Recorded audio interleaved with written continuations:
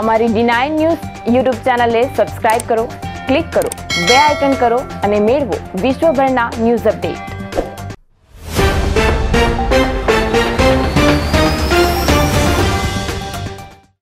ભરૂચ ખાતે આવેલ સબજેલના કરતા હર્તાઓ દ્વારા રમતગમતના મેદાન માલિકી અંગેનું બોર્ડ મારવામાં આવતા આજુબાજુના સોસાયટીના રહેવાસીઓમાં રોષની લાગણી ફેલાઈ હતી. જેથી આ અંગે સ્થાનિક પાલિકા સદસ્યોની આગેવાનીમાં ભરૂચ જિલ્લા કલેક્ટરને એક આવેદનપત્ર પાઠવાયું છે.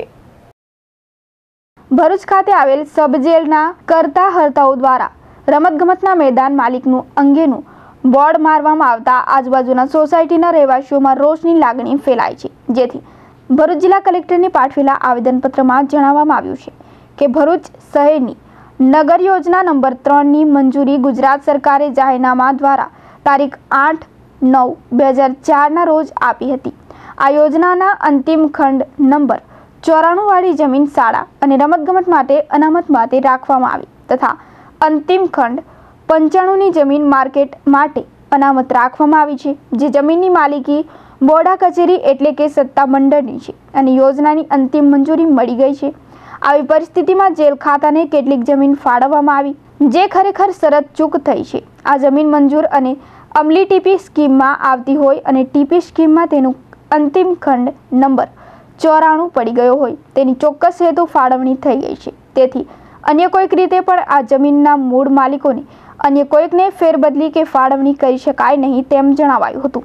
આવેદનમાં એમ પણ જણાવાયું છે કે જેલ ખાતા દ્વારા આ જગ્યાને જાહેર નોટિસ મારવામાં આવી છે. જે નોટિસ ખોટી છે અને કાયદા વિરુદ્ધ છે. તેથી, આ બોર્ડ દૂર કરવાની માંગણી કરવામાં આવી છે. પશ્ચિમ વિસ્તારનો એક મોટા મોટો પ્રશ્ન વારંવાર જે આવે છે રમતગમતનું મેદાન અને શાળાની જે રિઝર્વેશન ટીપી સ્કીમની બે હજાર છની જગ્યા છે, એનું એન કેન પ્રકારે સરકાર દ્વારા એને હડપ કરવાનો એક પ્રયત્ન થઈ રહેલો છે.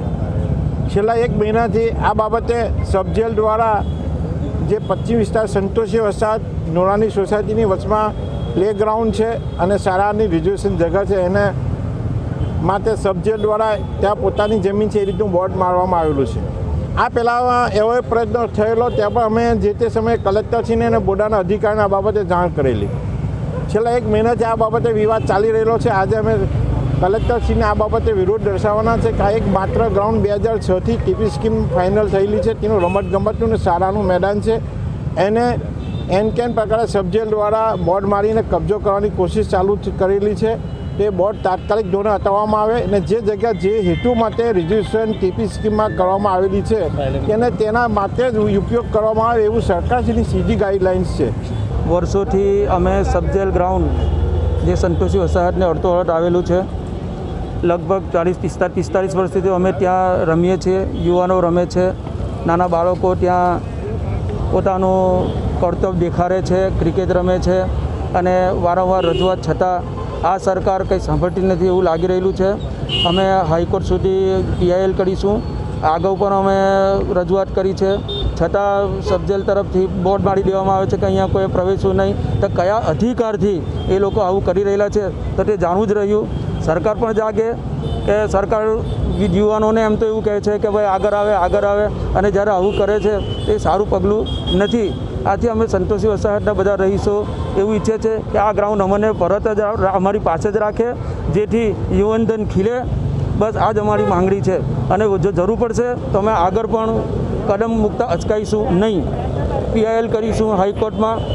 આ અમારી ચેતવણી નથી, પણ આ અમારી એક એ છે કે ભાઈ તમે કંઈક કરો આ બાબતમાં.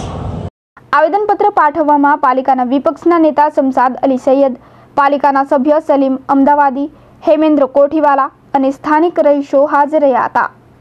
કેમેરામેન વિરલ રાણા સાથે Sachin Patel, D nine news Bharuch.